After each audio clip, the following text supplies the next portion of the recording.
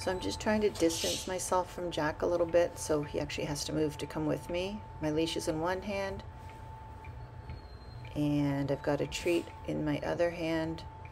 Again, I'm trying to be boring so Jack finds something better to do than follow me.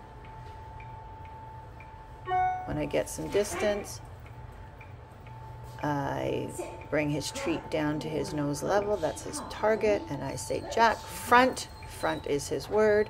When he comes in to me, I tell him, sit, grab his collar so he can't escape. This is his kind of life saving, I gotcha command. And then give him tons of praise.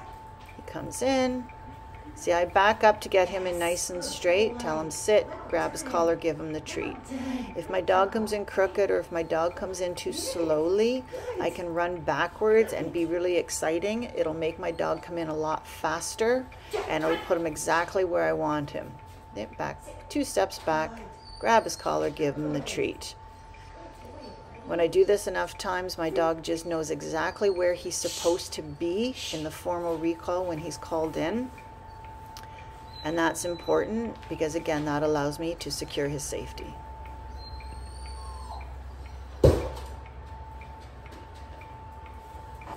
Remember, you want to practice this recall on leash until your dog is, is really solid as he can be uh, and is coming in fairly easy without too much work. Then you can go to a longer line from there.